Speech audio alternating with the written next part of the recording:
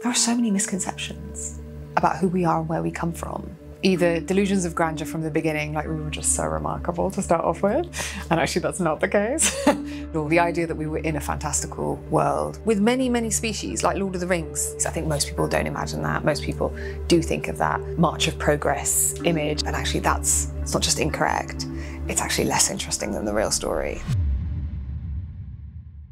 Human is the story of us. It's the story of how we began as a species in a moment when we have had a ancient DNA revolution. 2010 is when the uh, genome of Neanderthals was published. Um, and since then, we have discovered so many things, including that Neanderthals and ourselves did interbreed, but also new species of human, the Denisovans, Homo naledi, a few other species as well. So really, this has been a very, very important decade or two um, in paleoanthropology. So it feels like the time to make a series on this. اولا وهي تعود للفك السفلي لطفل هي تابعه لهذا؟ لا لا هذه لطفل وهذه لبالغ I've worked with a lot of really great teams. You suddenly realize when you're working with the best and you're like, oh, this is how you make a landmark. There are these two components to the show that are brilliant. Um, one is that we have drama, and all of us were terrified about this because usually when you have drama on a paleo show, it's awful. It's like really bad prosthetics, really bad acting, etc., etc. So the team decided that they were going to have it so it felt like more an impression, and they did a six-week shoot in South Africa to represent 300,000 years of human history across seven continents. And then there's photogrammetry, and it's basically hyper real, really very scientifically robust model of human species other than ourselves. Had hundreds of cameras around a model. Um, they had to bring in like intimacy coordinators. It was just absolutely fascinating to get those models. So there's all of these components um, to tell our story that are so so important, and it's super cool to be a component of that. The front has a natural slit for a mouth and a natural depression for an eye. And even if you want to go that far, a nostril up at the front. This was a cave. The minute you walk in, there's this clear, very huge rock formation. And you can see why they thought that it was a snake. The overall form has been altered to make it look even more snake like.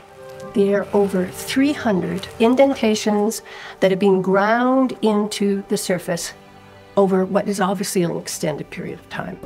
And then they leave these incredible artifacts, but they're unused, but they've been burnt or broken. The obvious interpretation to that is that it's an offering. And it's the first site that we have where it gets really, really difficult to see anything other than ritual there. It is religion. But guess what? Ritual is also Burning Man, it's also your birthday, it's also um, New Year's Eve, it's all of these other things. And we as a species are obsessed with it. We had always had the impression that this type of abstract thinking would have been beyond uh, the ancestors at that time. And now we definitely have evidence that that was absolutely wrong. There is something really moving, actually, about being there. Um, because you can see the effort they went through to, to make those arrowheads and to make the snake. I mean, that's a lot of work. Even the early Homo sapiens might not have been doing that. In fact, they probably weren't doing stuff to that extent. So it also represents a shift in the way we see things. Um, in the show, we, we kind of describe it as seeing beyond what's in front of us, and that being one of the features of us. It speaks to something deeper as to who we are. We can't speak to these people, but this, this whole place, it gets us so much closer to what they were thinking, what was going on inside. Yeah. This fossil went from being enigmatic and a, basically a mystery to being one of the most important fossils in our whole field. Jebel Irhoud, those fossils have been around for a really long time. And nobody's been sure what they are. It was it was a weird mosaic, like mixture of features. And then really recently, they did the dates on them, but in a way that was much more robust. And they realised that they were actually 300,000 years old. And suddenly, it made sense because we thought we were 200,000 years old, and that's why that particular skull didn't make sense because it didn't fit into the timeline, etc., etc. Suddenly, if you say it's 300,000 years old, you go, ah, that was one of the earliest Homo sapiens. And what's particularly remarkable about that, Morocco. If we'd have made this show 10 years ago, if I suggested we go to Morocco, we'd be like, you're trying to get a holiday? like, why are we going to Morocco?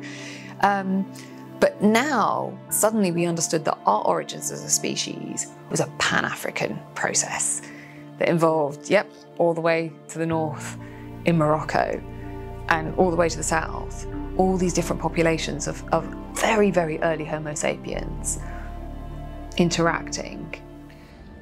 It's a bit like having a peek behind the curtain of evolution. This is a stage in the journey to becoming us. I'm desperate to bring the human into human evolution.